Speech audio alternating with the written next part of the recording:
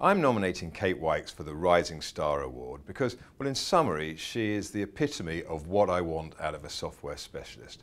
She has a customer first attitude, she's technically very strong, and she's been instrumental in driving a number of key deals that are of benefit primarily to the customer but also to our key vendor partners. On top of her sales skills, Kate was also very keen to share her knowledge and mentor and coach within the internal team. So much so that in fact since the nomination, Kate has interviewed for and has been successful in being promoted to being the sales manager of our software business here at Computacenter UK. So in summary, Kate Wykes is a rising star. She is an absolute star.